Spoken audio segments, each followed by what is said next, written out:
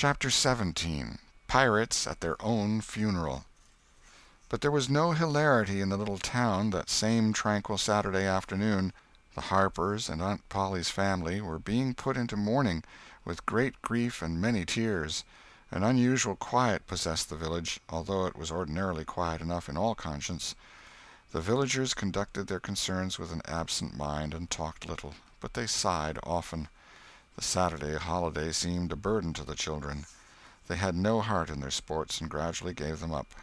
In the afternoon Becky Thatcher found herself moping about the deserted schoolhouse yard and feeling very melancholy. But she found nothing there to comfort her. She soliloquized, "Oh, if I only had a brass andiron knob again! But I haven't got anything now to remember him by," and she choked back a little sob. Presently she stopped, and said to herself, "It was right here. Oh, if it was to do over again, I wouldn't say that. I wouldn't say it for the whole world. But he's gone now. I'll never, never, never see him any more." This thought broke her down, and she wandered away, with the tears rolling down her cheeks.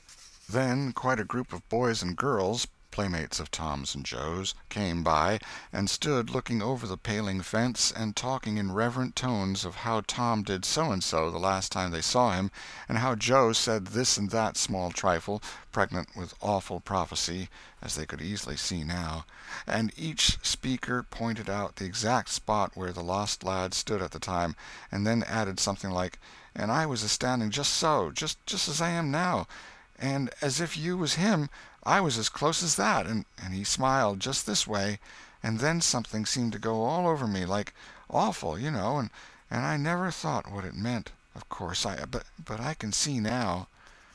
Then there was a dispute about who saw the dead boys last in life, and many claimed that dismal distinction, and offered evidences, more or less tampered with by the witness and when it was ultimately decided who did see the departed last, and exchanged the last words with them, the lucky parties took upon themselves a sort of sacred importance, and were gaped at and envied by all the rest. One poor chap who had no other grandeur to offer, said, with tolerably manifest pride in the remembrance, "Well, Tom Sawyer he licked me once." But that bid for glory was a failure. Most of the boys could say that and so that cheapened the distinction too much. The group loitered away, still recalling memories of the lost heroes in awed voices. When the Sunday school hour was finished, the next morning, the bell began to toll instead of ringing in the usual way. It was a very still Sabbath, and the mournful sound seemed in keeping with the musing hush that lay upon nature. The villagers began to gather, loitering a moment in the vestibule to converse in whispers about the sad event. But there was no whispering in the house, only the funereal rustling of dresses as the women gathered to their seats disturbed the silence there. None could remember when the little church had been so full before. There was finally a waiting pause, an expectant dumbness, and then Aunt Polly entered, followed by Sid and Mary, and they by the Harper family, all in deep black, and the whole congregation, the old minister as well, rose reverently and stood until the mourners were seated in the front pew. There was another communing silence, broken at intervals by muffled sobs, and then the minister spread his hands abroad and prayed. A moving hymn was sung, and the text followed, "I am the resurrection and the life." As the service proceeded, the clergyman drew such pictures of the graces, the winning ways, and the rare promise of the lost lads, that every soul there, thinking he recognized these pictures felt a pang in remembering that he had persistently blinded himself to them always before, and had as persistently seen only faults and flaws in the poor boys.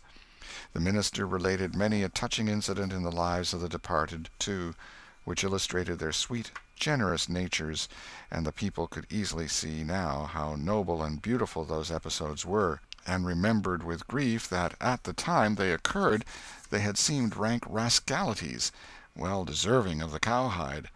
The congregation became more and more moved as the pathetic tale went on, till at last the whole company broke down and joined the weeping mourners in a chorus of anguished sobs, the preacher himself giving way to his feelings and crying in the pulpit. There was a rustle in the gallery which nobody noticed.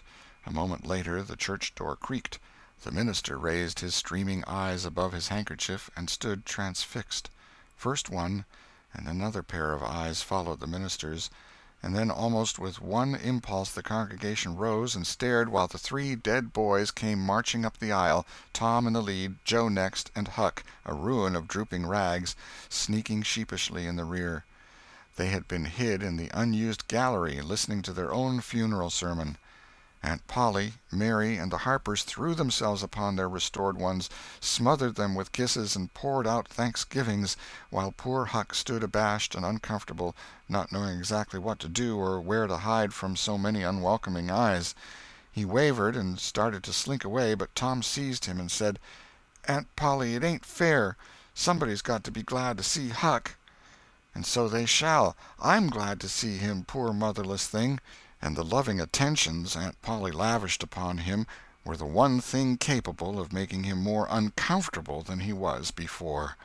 Suddenly the minister shouted at the top of his voice, "Praise God, from whom all blessings flow! Sing, and put your hearts in it!" And they did.